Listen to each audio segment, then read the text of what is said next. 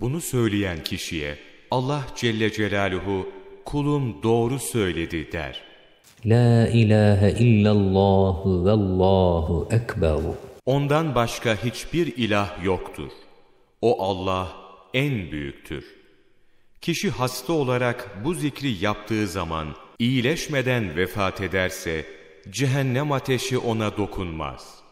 Tirmizi Müzik